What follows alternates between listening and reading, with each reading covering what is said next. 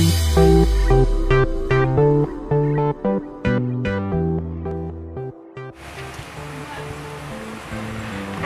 আলাইকুম।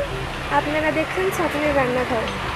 আজ আমি আপনাদের সঙ্গে শেয়ার করে দেখাবো ডিম ও সয়াবিনের দারুণ একটা রেসিপি এভাবে ডিম দিয়ে সয়াবিন রান্না করলে কষার মাংসের মতো খেতে লাগে। আর আমার রেসিপিটি ভালো লাগলে অবশ্যই আপনারা চ্যানেলটিকে সাবস্ক্রাইব করে পাশে থাকা বেল আইকনটিকে ক্লিক করে নেবেন। নতুন ভিডিও নোটিফিকেশান সবার আগে পাওয়ার জন্য। প্রথমে কড়াইয়ে আমরা জল নিয়ে নিয়েছি।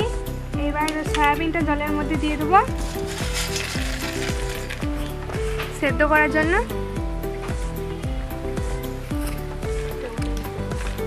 জলটা ফুটে গেলে আমরা এটা নামিয়ে দেবো। মানে জলটা ফুটে গেছে, তাই এবার সয়াবিনগুলো তুলে নিচ্ছি।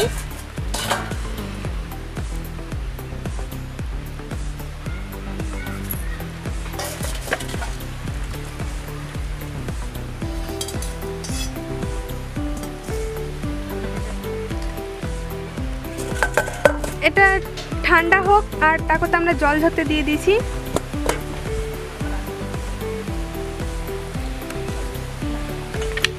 এবার আমরা আলুটা ভেজে নেব।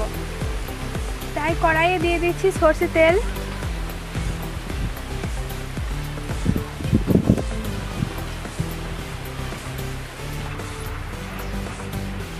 তেলটা গরম হয়ে গেছে। এবার আলুগুলো দিয়ে দিচ্ছি।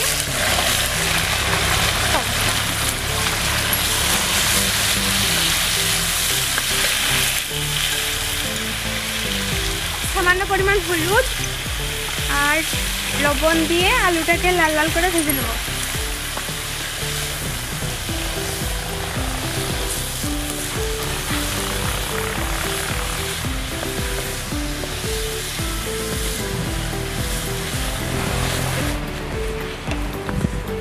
আলুগুলো ভাজা হয়ে গেছে, এবার আমরা এগুলো তুলে নিচ্ছি।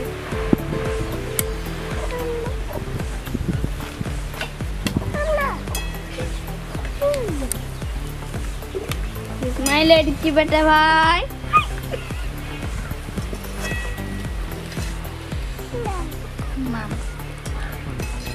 কি বেটা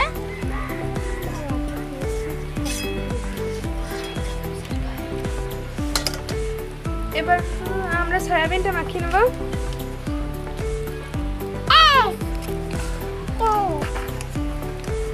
জল ধরে আমরা সয়াবিনগুলো একটু ফুটে নিয়ে নিলাম। এবার দিয়ে দিচ্ছি লবণ। লবণ।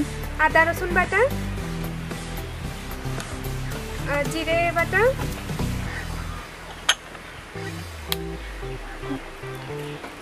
আর একটা ডিম।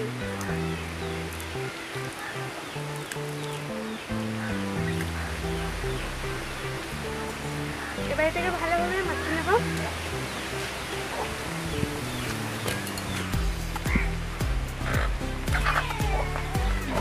দিয়ে দিচ্ছি হলুদ। আবার এটাকে ভালোভাবে মাখিয়ে এটা আমরা তেলে ভেজে নেব।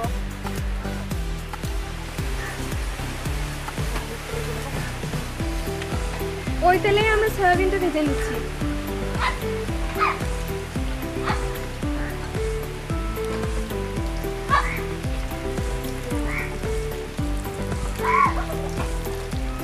একবারেই ভেজে নেব না। অল্প অল্প করে ভাজছি।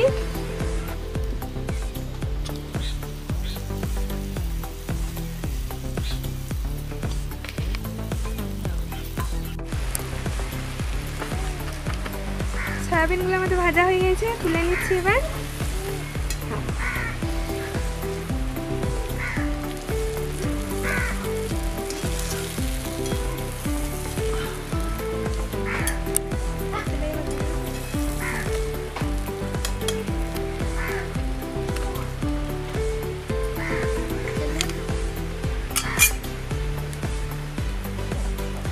পরিমাণ তেল দিয়ে দিচ্ছি। দিয়ে বাকি সয়াবিনগুলো আবার ভেজে নেব।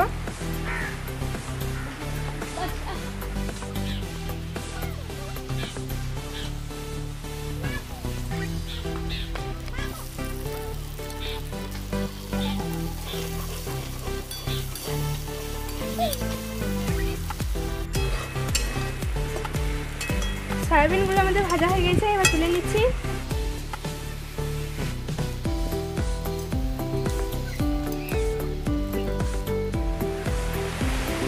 সয়াবিনগুলো আমরা তুলে নিয়েছি। এবার কড়াইটা পরিষ্কার করে ওর মধ্যে দিয়ে দিচ্ছি সর্ষে তেল। ফোড়নের জন্য দুটো শুকনো লঙ্কা, গোটা জিরে আর দুটো তেজপাতা। এবার গোটা মশলাগুলোকে একটু ভেজে নেব।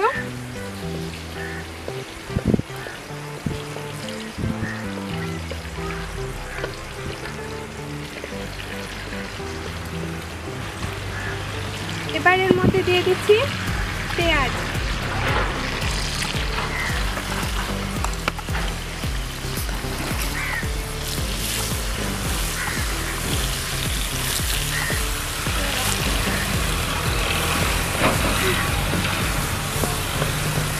পেঁয়াজটাকে সামান্যক্ষণ ভেজে নিচ্ছি।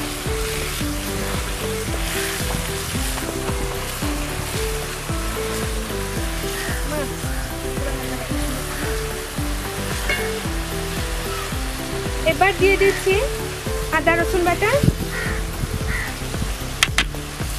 জিরে আর লঙ্কা বাটা।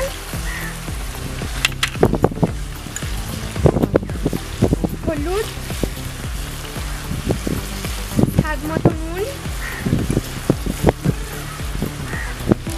আর লঙ্কা গুঁড়ো।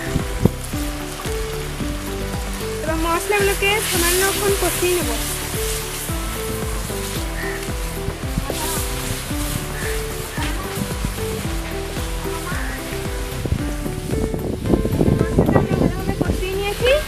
এবার দিয়ে দিচ্ছি সামান্য পরিমাণ জল, যাতে মশলাটা কড়াইয়ে লেগে না যায়।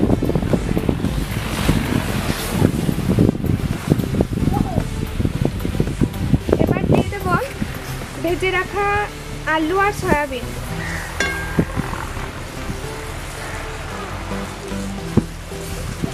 মশলাটার সাথে আলু আর সয়াবিনটা ভালোভাবে মাখিয়ে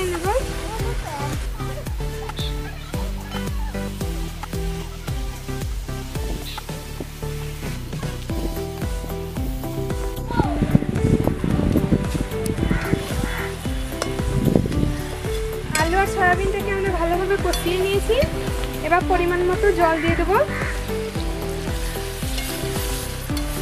জল দিয়ে এটাকে আমরা দশ মিনিটের জন্য ঢাকা দিয়ে রেখে দেবো।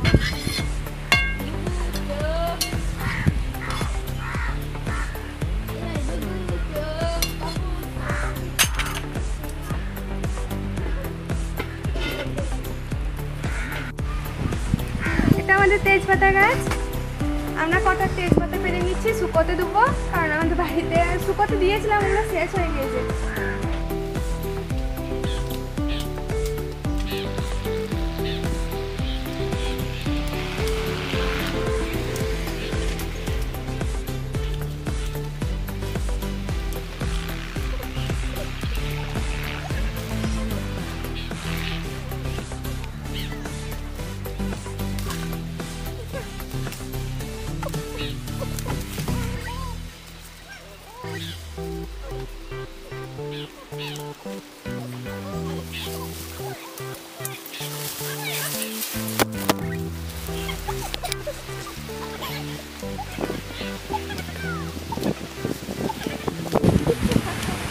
আব্দুর রহিম করে তুলে দে না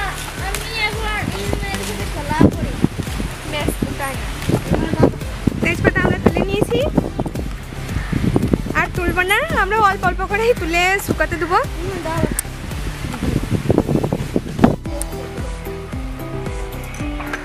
এবার আমরা ঢাকনাটা তুলে দিচ্ছি।